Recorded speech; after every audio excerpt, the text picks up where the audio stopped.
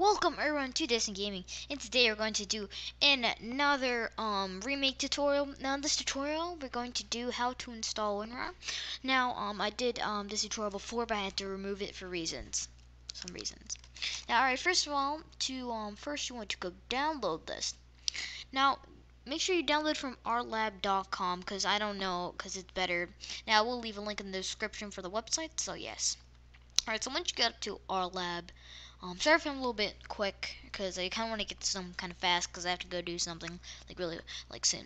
So um, here are the two downloads that you will need. Um, if you have a 32-bit computer, download the 32. If You have a 64-bit computer, download the 64.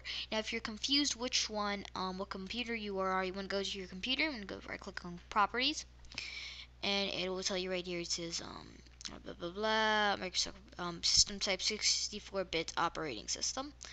So that's how you can check it. And see once the setup is done loading or um, you know stuffing it's downloading you want to go open up the setup for the WinRAR um, installation. You want to wait for a little bit to open. And uh, also um, there's a bunch of um, for Mac there is Mac right here um, it says like you see under here there's for Linux Linux 64 there's for FreeBSD I don't know I don't have I have I don't know what that is. And there's for Mac. But anyway you would go up here and open up your installer.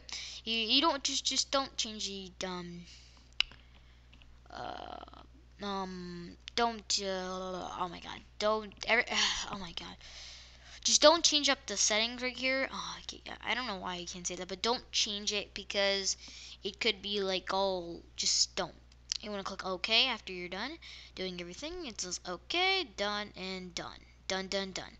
Now, if you want to know what you can use WinRAR for, you can use it for exact um, extract zip files. And my computer is being derpy because it's using install something.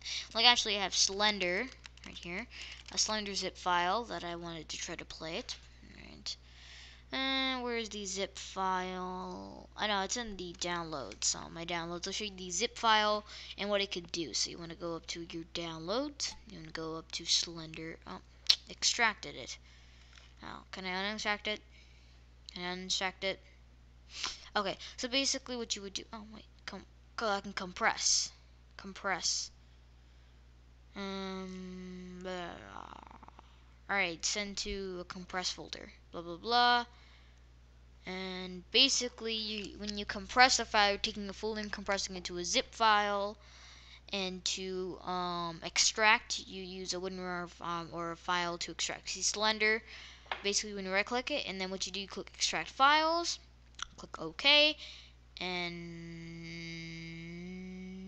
yes to all next you want to do click a yes and you just want to wait for it to everything to extract itself and it shall make the file except the thing is it's not making it because there's so much slenders so basically, that's really it. You can also use it for Minecraft and stuff. So anyway, thank you all for tuning in to my video. If you liked it, leave a like, and I'll see you all my next tutorial slash video.